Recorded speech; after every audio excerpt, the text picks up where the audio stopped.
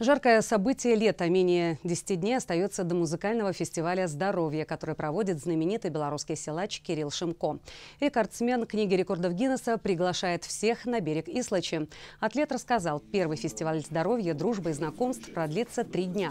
Гостей ждут концерты, спортивные мероприятия, конкурсы, розыгрыши, а также выставка ретро-техники. Главная цель – объединить тех, кто выбирает здоровый образ жизни. Фитнес-тренеры проведут мастер-классы по йоге и хип-хопу, а самых впечатлительных ждет силовое шоу. Впервые в Беларуси пройдет конкурс по броскам самовара, символу фестиваля. Для любителей легкого пара на берегу Ислачи обещают настоящую баню. У нас будет все просто, необычно, и у нас не существует ВИПов, у нас все одинаковые. Вот в этом-то и прикол, что приедут звезды, например, России, которые на нынешний момент будут в этот период времени сниматься в кино, они будут у нас. Представляете, можно в неформальной обстановке пообщаться с ними. Объединяемся, веселимся, Ломаем стереотипы проведения, делаем так, как мы хотим.